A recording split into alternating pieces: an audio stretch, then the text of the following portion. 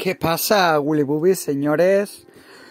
Malas noticias para los argentinos. Bueno, para los argentinos malas noticias es, pero la peor noticia a quien más va a afectar no va a ser a los argentinos, porque a los argentinos son perjudicados. Pero es que muchísimos responsables de esta mala noticia son los hijos de un millón de padres de España, de México, de Estados Unidos, de Francia, que se iban a comprar a la Store de Turquía y de Argentina, perjudicando a estas personas donde tenían los juegos precios especiales debido a sus economías especiales. Porque es algo, un hobby, mm, dentro de, aunque sea todo un negocio, todavía hay ciertas compañías que ven como esto que aparte de ser un negocio de intentar contentar a las personas, que disfruten un poquito, que disfruten un poquito. Bueno. Enhorabuena a todos estos hijos de un millón de padres que comprabais allí en esas stores. Y esto sobre todo es por los, los, los pecerdos comprando jueguecitos en Steam de oferta y en la historia de Argentina para presumir de mi biblioteca, mi biblioteca de Steam. Y los juegos de salida pirata. Cuando está en Steam a 5 euros, pero de la Store, Argentina o Turquía, me lo compro. Enhorabuena, señores. Enhorabuena, ¿cómo? Level Up de nueva. Da la cara ante la incomodidad de los fans por los nominados al GOTY. Jeff Kigley responde y manda un contundente mensaje a la comunidad gamer, Dios mío. Todo lo que implica esta noticia, señores. Como decíamos el otro día. Pilerus anosarditus, o sea, pilerdos que no juegan a nada de videojuego, que solamente son unos muertos de hambre, que no tienen dinero para comprarse videoconsolas, y le gustaría tener una consola de PlayStation y es imposible, pues vierten sus odios en que, en que no hayan nominado al flamante juego de Xbox, Gayfield, que es una puta basura, que ellos no han jugado, que ellos no han comprado, pero que ellos han defendido y que los deja en, muy, muy, muy mal lugar. Eso lo primero. Luego lo segundo más importante. Los GOTI no valen para nada. Cuando, cuando no hay juegos de Xbox, los GOTI no valen para nada. Luego intentamos que gane el juego de Nintendo porque es la competencia de Sony. Que pues, si gana Nintendo, y ya si lo gana Sony, eso eh, no vale para nada, eso está vendido. Ah, completamente. Todos ellos protestando diciendo que no van a hacer el evento de los GOTI, pero lo hacen. Y aquí Antonio Aranda, que le valen verga los, los GOTI, le valen verguísima, no tiene ninguna credibilidad para mí nunca, gane Sony o pierda Sony, me da igual, por eso de hecho no hago evento de esa mierda. Lo hice una vez y acabé hasta los santos cojones. Hasta los santos cojones, ya no más. Y no es porque sea muy tarde, porque ha coincidido de que yo estaba haciendo directos de juegos, jugando, jugando a videojuegos, eso que el calvo y compañía no hacen ninguno, jugar videojuegos, porque no da dinero y porque son manquísimos, juntando la hambre con la gana de comer, yo lo juego. Y ha dado coincidencia de que hace cierto día que había Goti he estado yo haciendo un directo de juego. Bueno. Y el Geoff Keighley, ¿qué es lo que ha dicho? Y, ahora la pena, señores, la pena de todo. O sea, gente que no tiene consola. Gente que no tiene el Stargate que ni lo ha jugado. Gente que dice que los GOTI no le importa nada, pero se la pasan llorando por redes sociales. Y la prensa pilerda también dando, dando aquí su, su mensajito. Y al final, al final resulta que ha tenido que salir el Doritos para decir que, ¿qué pasa? Que, que el Stargate no esté en los GOTY no significa de que sea un mal juego, pero significa que hay otros mejores por encima. Bueno, otros mejores por encima como la prensa. Yo lo he comentado, yo no tengo nada que ocultar, yo no soy antipilero, anti esto, anti lo otro, yo digo lo que pienso y lo que creo que es la verdad. Vale. ¿El Stargate Field merece estar en los GOTY? No. ¿Es una mierda de juego? Sí. Pero que vayan a los nominados del GOTY, no a los GOTY en general, al GOTY, al mejor juego del año, que pongan al Zelda y al Mario Elefantes. El Mario Elefantes. El Mario Elefantes por encima del Stargate Field.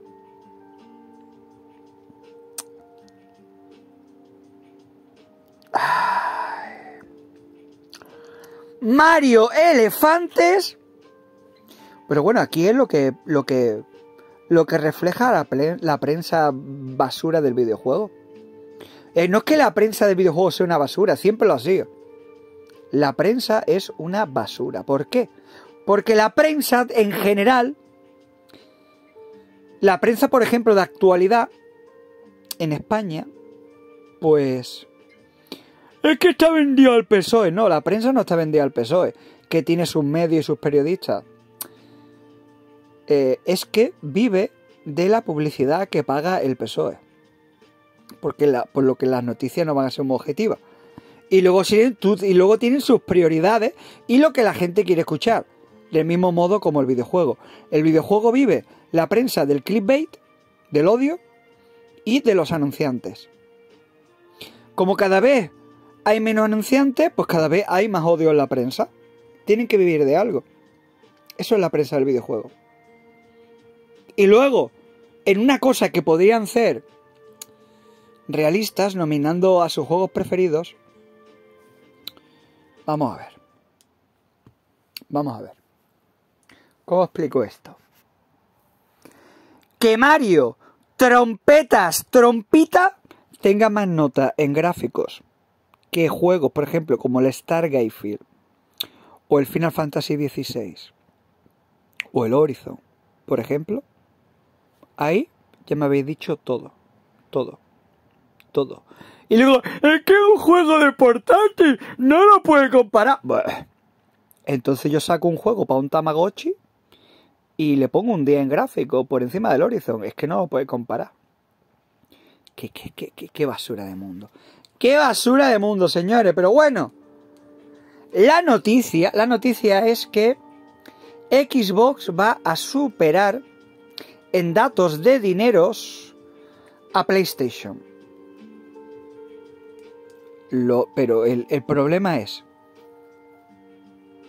¿Xbox ha generado esos ingresos vendiendo videojuegos? No.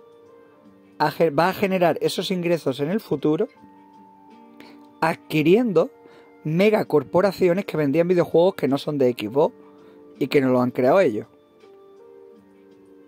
Eso es, eso significa de presumir mi equipo ha ganado la liga. Hombre, has comprado la liga y te has llevado a todos los jugadores para tu equipo y has dejado al otro equipo vacío.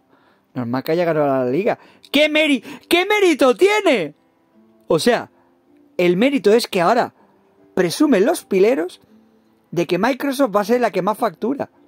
Hombre, si has comprado dos, de las compañías más grandes megacorporaciones de videojuegos que existen, ¿y por qué no te van a dejar comprar más? Si no lo compraba.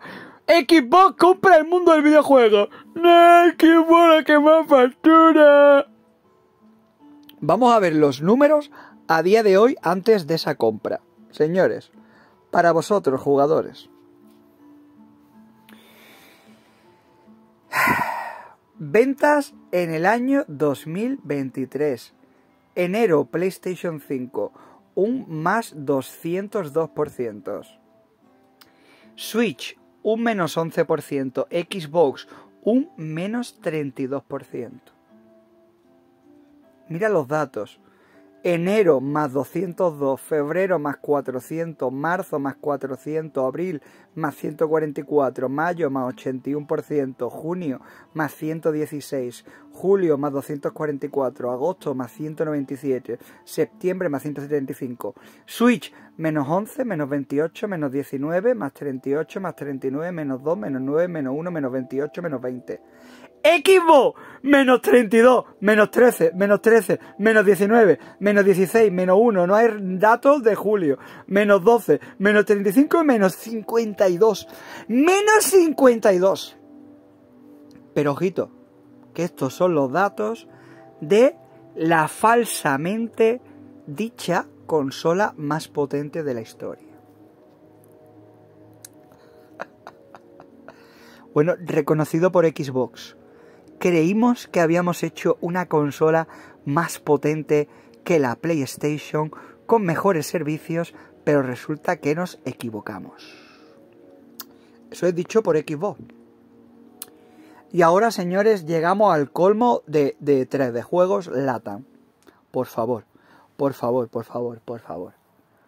Por favor. Esto es increíble. Carita triste. 3D Juegos Latan. Nintendo Switch 2 no llegará a 4K ni en sueños. Nueva filtración asegura que la nueva consola de la gran N no será tan poderosa como se ha dicho. Pedazos de hijos de la gran P mayúscula. Pedazos de hijo de la gran P mayúscula. Hijos de un millón de padres, de cien padres, de mil padres. ¿Cómo tenéis la cara tan dura de haber manipulado, de haber manipulado la información, diciendo 3D Juegos Latan, eh, todas las páginas estas, Level Up y 3D Juegos Latan, la lacra, la lacra de videojuegos Latinoamérica, o Iberoamérica mejor dicho, que deberíamos decir Iberoamérica, porque Latinoamérica es un término despectivo que inventaron los franceses. Deberíamos decir Iberoamérica, Hispanoamérica, América Hispánica. Bueno. ¿Cómo pueden ser tan hijos de puta que ellos cogieron, manipularon la información diciendo que la Nintendo Switch iba a tener mejor ray tracing que la Play, que la Xbox y que era más potente. Cuando lo que decían la nota de prensa es que la consola iba a ser rescalado, que los 4K era falso rescalado, pero no rescalado de, mm, de 2K como hacía para la PS4 Pro, que iba a ir de unos 780 a 1080p rescalado a 4K. Y que iba a tener un mejor desempeño de ray tracing, esa consola supuestamente, por eso. Esa consola no mejor que la Play, porque el hardware de la Nintendo Switch, que ya lo habían dicho antes, es como una PS4 Pro y algunas cosillas mejoradas, se suponía. En algunas cosas peores, en otras peores. O sea, como cuando estaba la, Play, la PlayStation 3 y la Wii U. Y luego teníamos la PlayStation 4 y la Xbox. Eso va a ser exactamente lo mismo que va a pasar con la nueva Switch 2, según los datos técnicos que hay de la consola. Y lo que decía que esa consola pese a no ser tan potente como Play 5 y Xbox, podría llegar a tener un rendimiento de tener ray tracing, una consola de unas características inferiores, debido a que los juegos se podían ejecutar a 720p, a 920p, a, a 1080p y luego eso se reescalaba. Porque lo que utiliza es una técnica de reescalado, que en PlayStation se llama checkerboard y esto utilizan el de Nvidia que tiene otro nombre. Porque cada uno le pone a su nombre a lo mismo. Pero es queso. Es queso. El de Play es queso y este es queso. Uno se llama tranchete y el otro se llama filipino, lo que sea. Patatas, Coca-Cola, agua, Fanta, fría, fría. Y ahora nos llega, no llegará a 4K ni en sueño. Es que sois vosotros, hijos de puta, lo que lo habéis manipulado y creando las polémicas. De verdad, qué asco de mundo. Pero bueno, mundo, asco de mundo como esto, señores. Vamos a ver. Vamos, vamos a ver esto, señores. Contexto. Manifestaciones en España ante el golpe contra la democracia. Que no es que sea un golpe de Estado, es que el golpe contra la democracia que se carga la división de poderes, bueno, etcétera, etcétera. Ya llevan 18 días manifestaciones en España. esto es para que veáis el contexto. Y vemos aquí un manifestante y un policía. Vamos a escuchar lo que va a decir porque, señores, esto es un mundo surrealista. Escuchemos. A ver.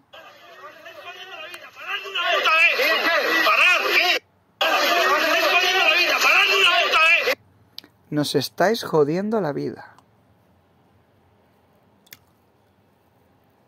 Nos estáis jodiendo la vida. Esta es la sociedad que hemos llegado, señores, donde los policías todos los días se han puesto a repartir palos en manifestaciones que no llegan, pero ni, ni a la sombra de cualquier manifestación que podéis haber visto en vuestros países, ni a las que ha habido en nuestros propios países. O sea, me puede decir, que la policía siempre está en medio, sí, la policía está en medio. Pero señores, hay que ser muy hijo de la gran mayúscula para decir que nos estáis jodiendo la vida. ¿Qué joder la vida? Los señores estos de la unidad de intervenciones especiales, esto de la policía, y otras unidades de seguridad, como en la que yo he estado, en la unidad militar de seguridad de Capitanía Militar, donde si te toca el turno de día, estás puteado porque estás una hora o una hora y media al sol del paseo marítimo, la gente pasando y tú ahí haciendo, eh, oh, bueno, aquí estoy. Pues si pasa algo, no pasa nada. Luego el turno de tarde, pues tiene una horita, una horita afuera y luego te metes para adentro. Y los que están de noche, pues están el día adentro. ¿Qué es dentro? Eh, si no hay ninguna. Si no, no, hay ningún altercado, que dentro de, por ejemplo, la, parte esta militar es mmm, cuidar y velar la seguridad del espacio de pequeñito de lo que es el cuartel y el aparcamiento del cuartel. Si pasa algo, pues tienes que salir e intervenir. Vale. Esta gente sale solo a la calle, pues cuando pasa algo, de vez en cuando, de vez en cuando. El resto del día, pues estás dentro del cuartel con el material preparado y mientras tanto, pues hay alguno que está en el gimnasio, otro está tumbado viendo la tele y otro está jugando el videojuego como hacía yo. Yo éramos dos por la noche, dos compañeros solos. Eh, lo único que te pedían está despierto. Había uno que estaba conmigo, que el tío, el hijo de puta, llegaba con la almohada y cuando pasaba media hora de haber al servicio se quitaba la chaqueta, dejaba el cinturón con la pistola encima de la mesa y el tío se quedaba tieso en el sofá. Pues imaginaros esta gente acostumbrado a tocarse los huevos dentro de un cuartelito el turno de noche, que a lo mejor de vez en cuando salen, que había un de estos, no sé cuánto, a llevar 18 días trabajando a lo que no están acostumbrados, pues señores, le están jodiendo la vida. Que en el país están dando un golpe de Estado, se está cargando la democracia, me la pela. ¿También porque me la pela? Pues porque a mis compañeros de la Guardia Civil, el gobierno, tiene en contra a los catalanes, a los vascos y a los del puño levantado, que el primer objetivo suyo es la fuerza y cuerpo de seguridad son enemigos suyos, pero la Guardia Civil el primero.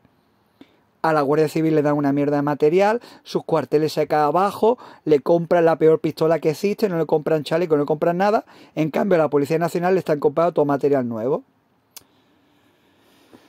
Ay, luego os tocará a vosotros, después de la Guardia Civil vais vosotros, pero bueno. Señores, esto es España.